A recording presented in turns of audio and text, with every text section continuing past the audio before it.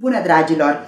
Iarna, pielea este supusă agresiunilor externe și pe măsură ce se așează frigul, extremitățile sunt cele mai afectate. Eu aleg să-mi protejez mâinile și să fac o barieră protectoare a pielii cu adoterm preventiv de la Bioderma. Pe curând!